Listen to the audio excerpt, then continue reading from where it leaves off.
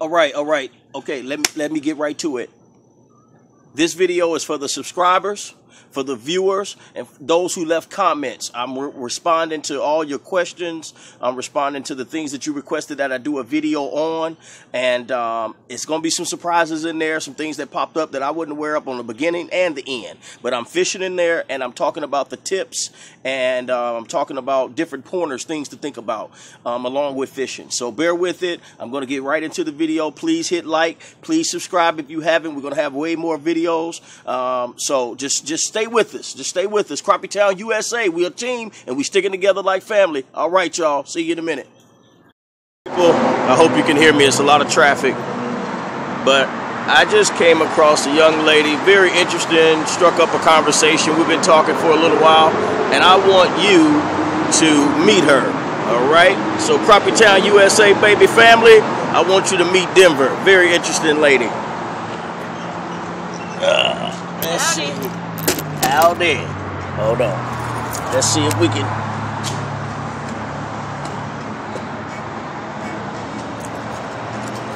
What's the dog's name? Oh, that's Hank Williams. All right, well, meet Hank over there. There, Hank. Pitbull. Uh, yeah, he's a pit mix. All right, so don't don't don't y'all start nothing. Don't start nothing. You got a pit bull over here. Look at that vicious attack. So Denver here. Okay, I'm gonna just ask a couple questions. This is not scripted, y'all. This is not scripted. Okay, so you say you're coming from. Where are you coming from? How did you get all the way here in Indiana? um, well, I'm coming from Georgia. Georgia. And then I got picked up by a school bus full of hippies who brought me to a rainbow gathering Yeah. in eastern Kentucky.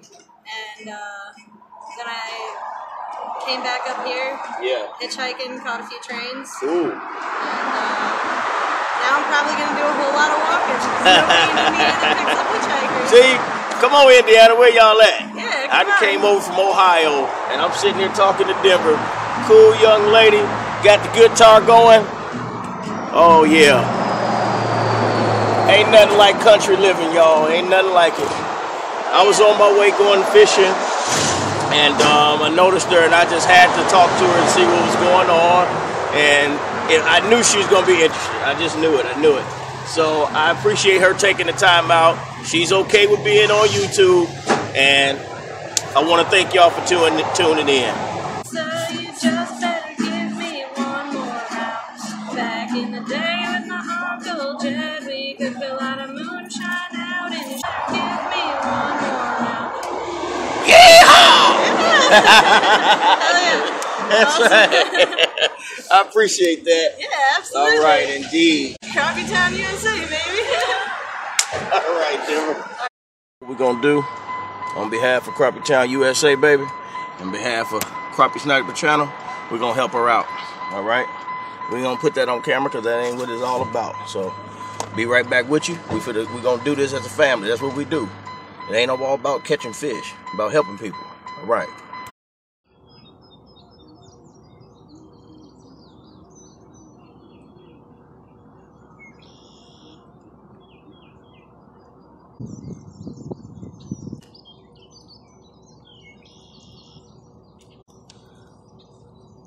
People.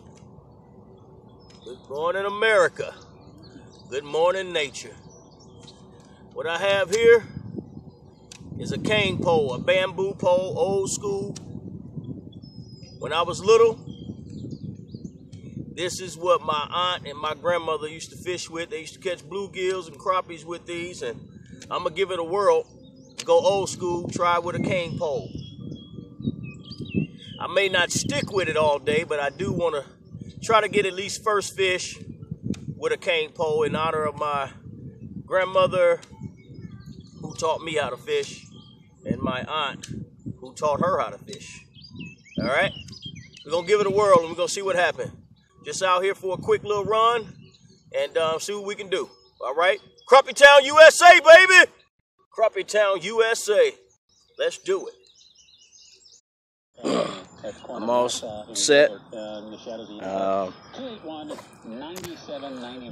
I got my my radio out here today. Like I said, this is for old school. I never I never do radios. Well, I have, but it's been probably a couple years. But I got the radio out here in remembrance of my childhood fishing days with my grandmother and my aunt. My grandmother passed away. My aunt is um, in Illinois, and uh, this is this is honor to them. My first cast, my first fish. I got to get it the way they did it. Cane pole, radio playing. Okay, but I got my my regular poles out here. Got my minnows with my freeze pack in there. Tweezers, kit, and some change just in case I got to switch up. I know I said I wasn't coming out here for all of that. And then I got my stool. Okay, got my stool because this time I'm going to sit down a little bit. I'm going to do like they did. They sat down, they cane fish. Let's go ahead and try. Set. I got my little jig right here. Chartreuse with a little silver in it. And um, black body with a green head with a wax worm on it. And I'm gonna get the cane pole. I I'm telling you, it's been years. I probably was eight years old since the last time I used it. Well, maybe maybe ten. Probably was ten years old last time I used a cane pole. So we're gonna go for it. All right. Take a to know it's raining. And it doesn't take a genius to know that $302 million is a whole lot of money. That's right. The Powerball jackpot is up to $302 million. And the next drawing is tonight. There you go. Don't wait. Get your Powerball tickets now. Wait, got back in the water. Let's try it again. drop you into a 15-year loan with no closing costs. That's right. Nothing's rolled into your loan. We'll pay for your appraisal, title, underwriting, settlement fee, everything. Do not miss out All on right. this historic opportunity. Whether to purchase or refinance, you'll pay no closing costs. September games available. Less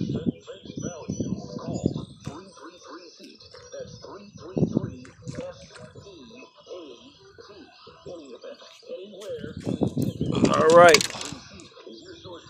First fish on the cane pole.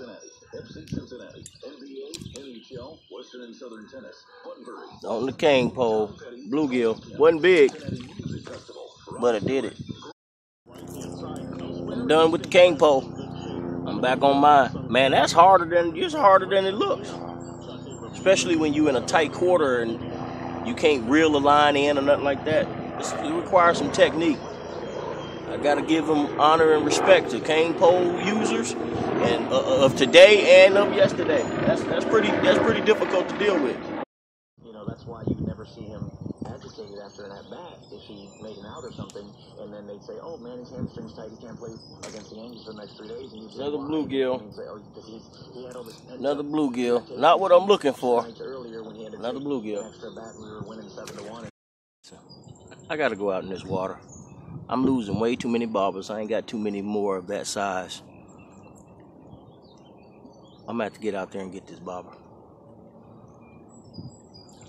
That's what I'm gonna to do. Call me cheap.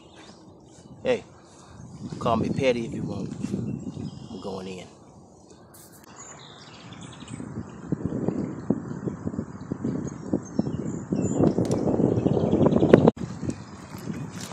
All right, people. I didn't caught my first rock bass in 30 years. More like 20. Little rock bass. Hold on, hold on. I'm getting a bite. Hold on. Don't play with me. I'm trying to do something. Don't play with me. All right, you know how they do. You know how they do. I'm trying to do something and then they're gonna try to bite. I've been sitting here waiting on a bite for the longest and they didn't bite. I'm trying to answer a few questions, okay? I have been getting a lot of questions about um, how do I hook my minnow and how do I um, rig my pole? How is it? How is it rigged? Okay, so here's what I do. I'm gonna try to be as informational as I possibly can, but as concise at the same time. we'll we'll see how that works out. Okay, here it is.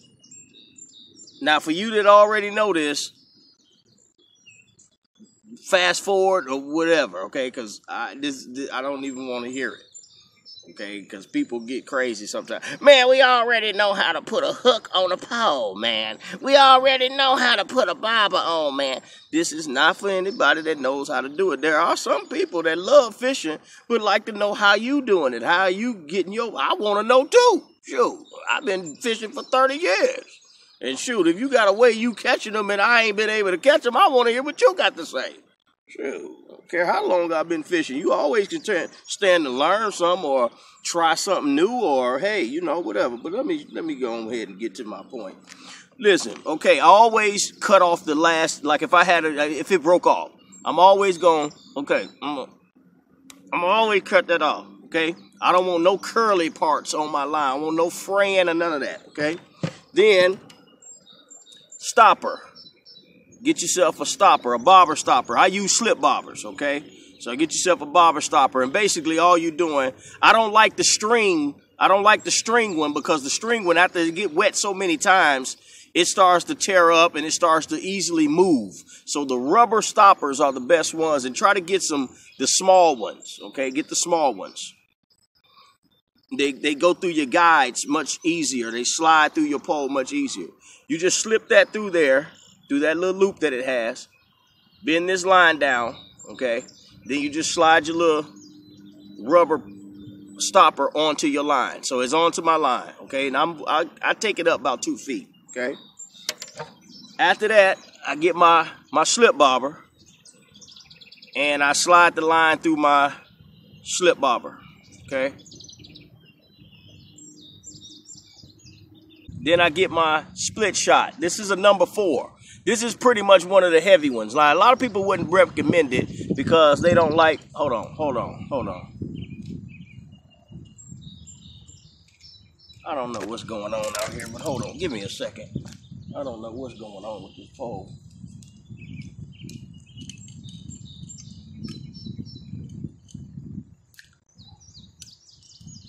All right, now don't come back without a fish, okay? Don't come back without a fish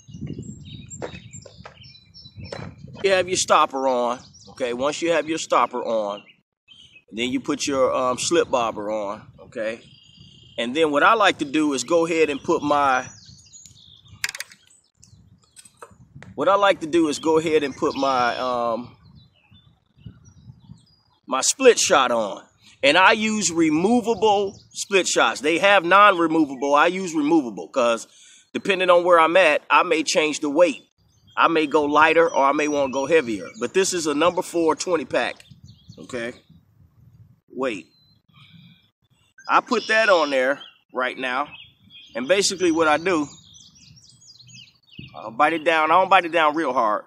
I do that just to keep this from falling off while I put my hook on. Okay.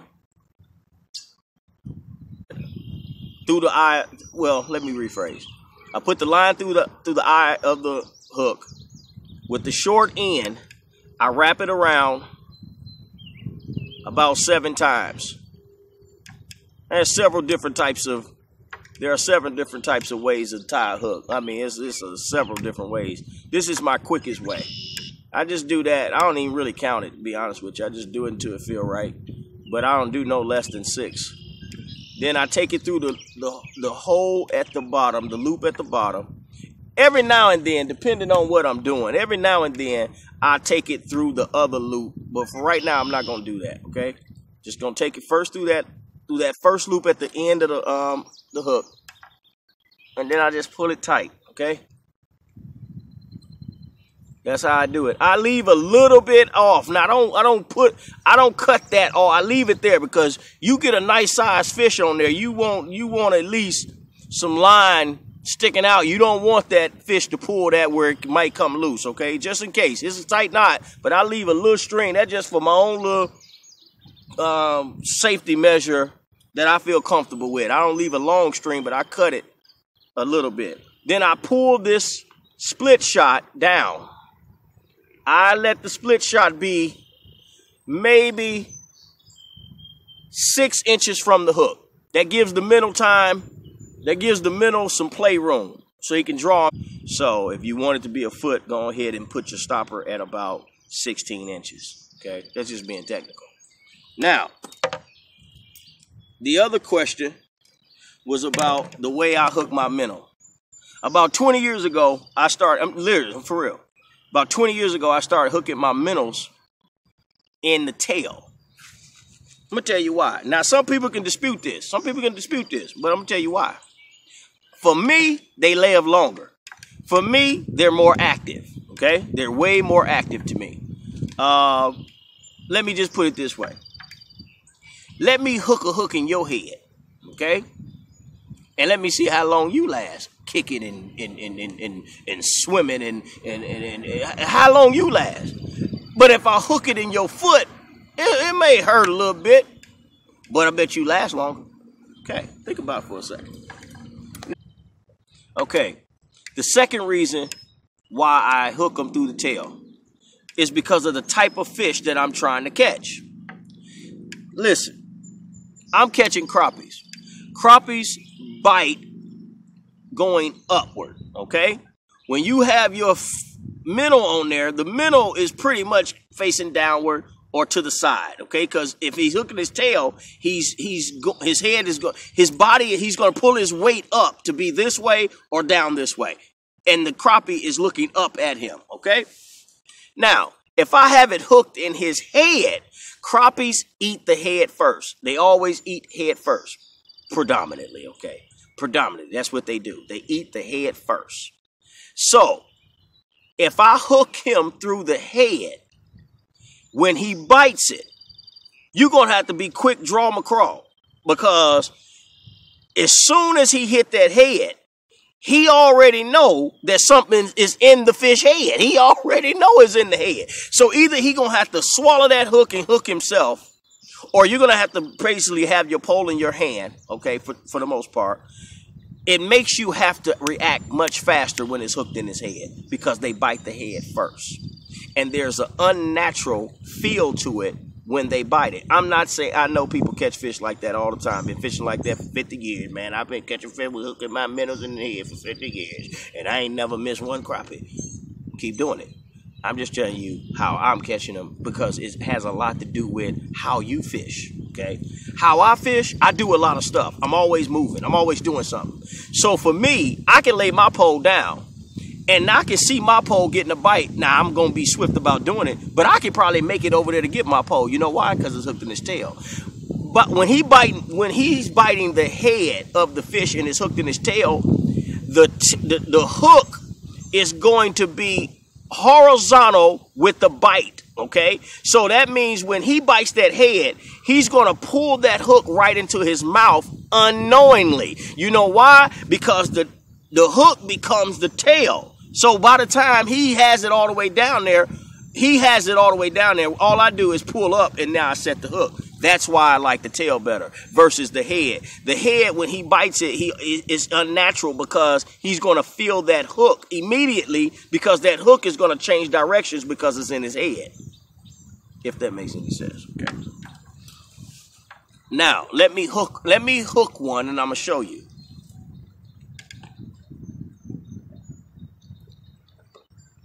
Let me get a big one so you can see. Okay, look. I'm gonna tell you. Now look. I hook him about right there. I don't go no no closer to the tail than right there. Okay? So I take it, I push down on it like this.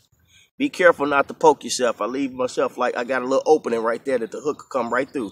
If you can see that, see the hook come right through there between my hands. Now look at him.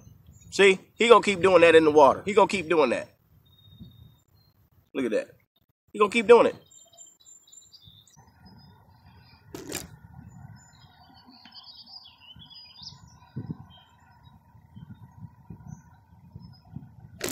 See, as you can see, since crappies bite, you see how he keep diving his head down? See, when a crappie see that, it tears his head off. If they in there. See that? See, he'll never know that hook is onto that fish until he's hooked. Because the way the hook is going parallel with the body of the minnow. It's going parallel with the body of the minnow.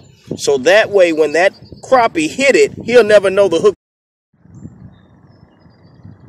Hooking them in the head, you also have to be mindful of what size hook you use. Even in the tail as well, but you have to be more concerned about that when you hooking them in the head. The size hook make a big difference. You use one of them number ones or one and one slash zeros, you probably are killing real quick in the head. That's another reason why I don't really like sticking them in the head, but we're gonna give it a whirl and see. Uh, looks in, on in the head. Okay, I'm gonna put them in the bucket.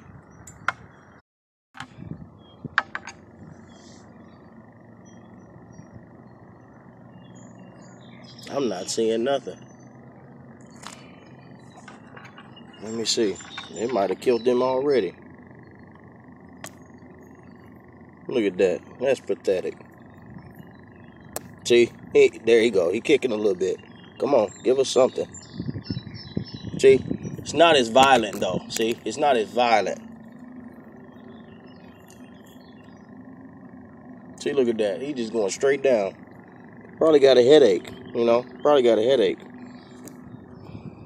Immediately he understands that something is in that fish or something's wrong. Immediately. Now the ones that just gump it, that's why they get caught. It's not that they're not aware of it, it's just that they're getting caught. But but uh there you go. Give us something.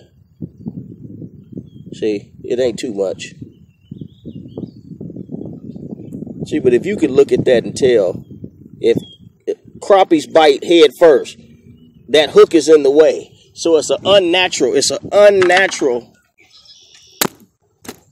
um, it's an unnatural feeling and an unnatural bite. It would be like, it would be like, it would be like how you, okay, let's say for instance, you eating a, a fish. They tell you the fish is filleted, right? look at how quick you recognize there's a bone in it. You know why? Because you know it ain't supposed to be one in it. That's how come you recognize it real quick. You recognize it real quick because you know that that's not what you was expecting. He's not expecting a bone in his meal either. bone meaning hook. Hold on, hold on. Oh, come on. Oh yeah. See, that's what I'm talking about. See, see how they try to get you when you're doing something.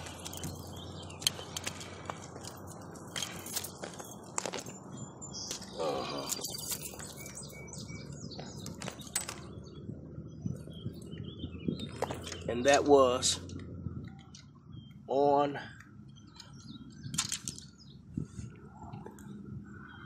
look at that. Look at that. Look at that. Mm-hmm. Look at that.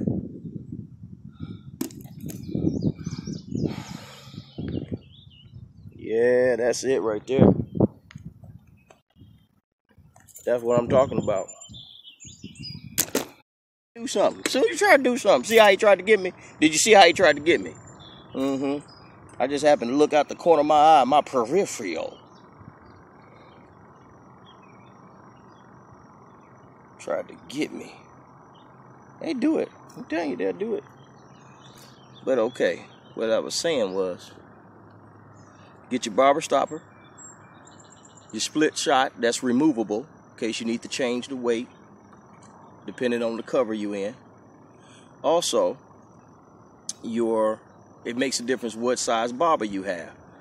Okay, if you got a small bobber, you're gonna need small weight. If um, you have a larger bobber or cork um, or float, you're gonna need um, a larger weight. Okay, so just remember that. And I put my split shot about six inches from the hook to give the minnow some room to dance around. And then also um, and also uh, hold on. You fit to do it again. Yeah, you gotta watch these things man. They they I don't know man. They got spies on the ground or something because I don't know how they know when you're doing something but they don't. So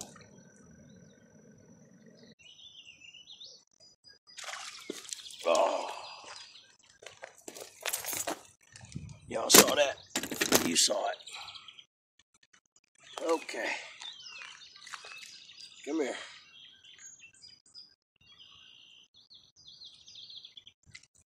Oh. Yep. Pink jig right in between them sticks. I hope the camera was focused correctly. Just this little thing, they can tow it up.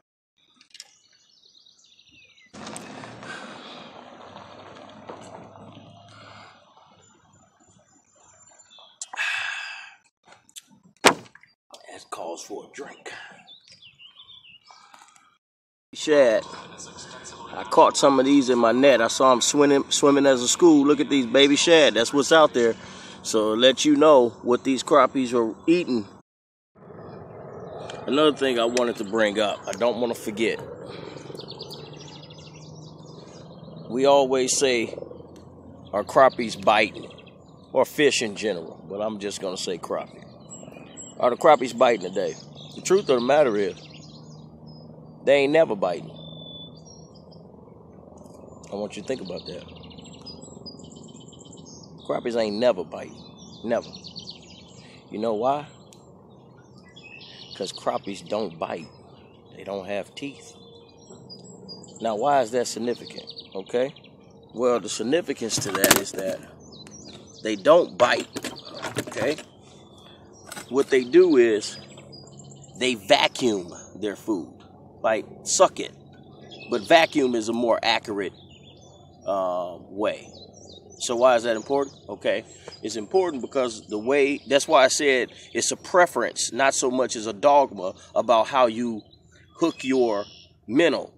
The hooking of the minnow has more to do with the minnow than it does the crappie because of the way that they consume their meal. Okay, so when you hook it in the tail or the eyes, pound for pound, it, it it's not going to matter too much to the fish. Now, I'm just saying my preference is the tail because of the psychological um, way I'm looking at it. I figure you live longer if it's in your tail rather than your head.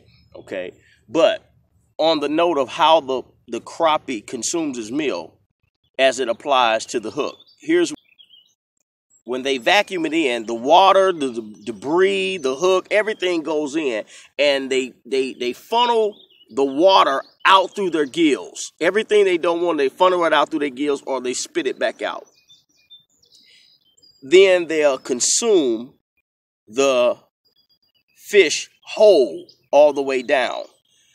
When that's happening, that's that's what's happening when your bobber is going slowly going down, or it may just gump down because they, I mean, they vacuum they vacuum it up, so the hook and everything is going like I said, I just prefer my hook to be going in along with the fish when he vacuums it because it's gonna it should get farther down um, its throat or it's a longer indicator. My alert my alert system is longer with it than the tail because as soon as he start vacuuming, my bobber is going to start moving to the side. That's why sometimes you have to wait. If you ever notice, if you ever notice that sometimes you pull your pole too quick, it's like, oh man, what, I mean, what, what did I do wrong?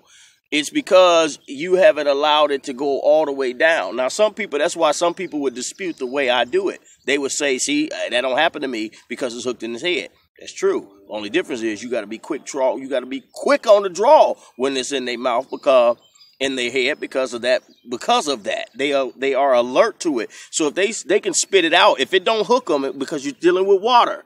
This is not just like throwing a, a, a hook in the air and, and it hooks on a stick or something. This is in the water, so it, it, it's it's floating. Okay, it's, it's moving. So it's no guarantee you're gonna hook them either way like that.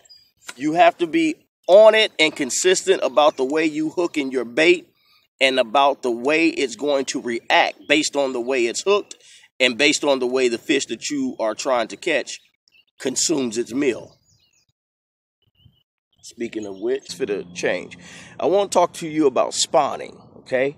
But not spawning crappies, spawning minnows, okay? Minnows typically spawn around April. The weather has been crazy, and um, so they have not been on a consistent pattern, just like the crappie has not been on a consistent pattern this year either. Now, what I like to do is find out if you're getting your bait from a bait shop, ask them where they get their minnows from. Okay, ask them where they get them from, and if they tell, like, say for instance, see, I get mine from a wholesaler, so I know exactly where they're coming from. Why is that significant? Let me tell you why. Because spawning minnows die fast. Oh my God. Oh my God. They die so fast. If you see a minnow and you see it's kind of look got a little belly on them or little um it's kind of fat when they're supposed to be like the slender and they're kind of fat. Or even ask them are they spawning? Are they are, are they spawning right now? With it you okay that don't mean don't get them it just be be mindful that your minnow could be sitting out there dead as a doorknob. And that's why you, you you're figuring you're not getting any bites or any vacuums. Okay the reason why they're not vacuuming that minnow up is because that minnow is dead as a doorknob and they're not going to mess with it. Okay? Look at here. I want to show you right now. Look at all of them right there.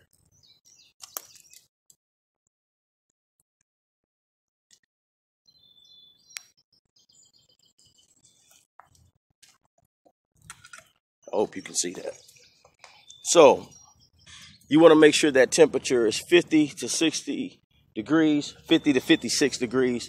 If it gets hotter than that, they'll start dying. You want to keep them cool.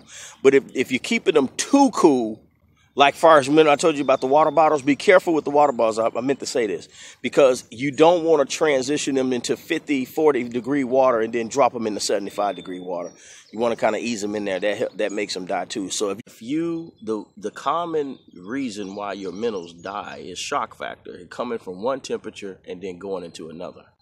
Um, so you want to be mindful uh, of those things. Um, the the temperature. Um, try to ease them into the temperature in which they're going to be in, rather than shocking them. So, all right, you best believe. Think about it. Think about it. Think about it. Listen, I'm gonna tell you something. We was in Houston. We was in Houston. One of my one of our boys, um, was running track and he made it to the junior olympics and so forth. This was some this was some years ago. We almost died down there. You know why? Because from houston. 105 110 degrees kills us. And they down there i mean running and turning down water.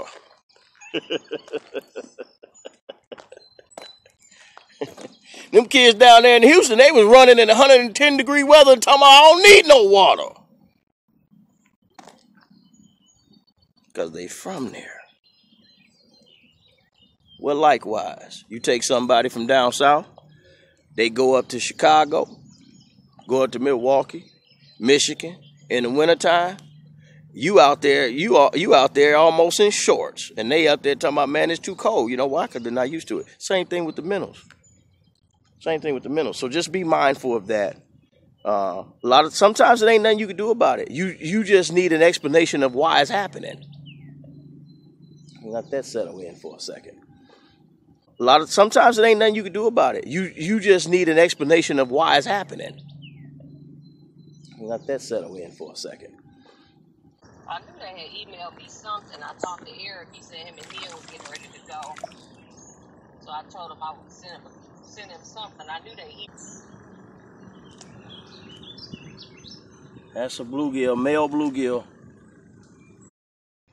you know, they be having a fit.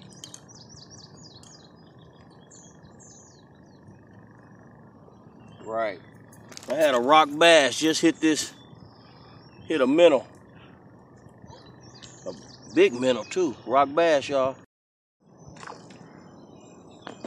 All right. All right. Hold on.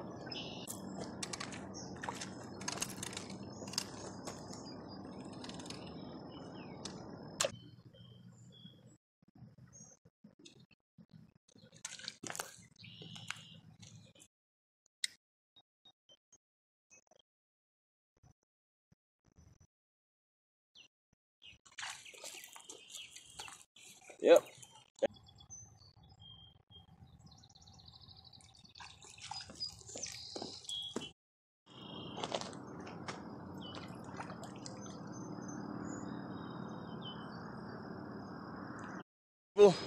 We're gonna cut the video We got a couple. You local? We're here, about to get the truck out of the mud. We're gonna try. So hang in there with us. We'll be right back. All right.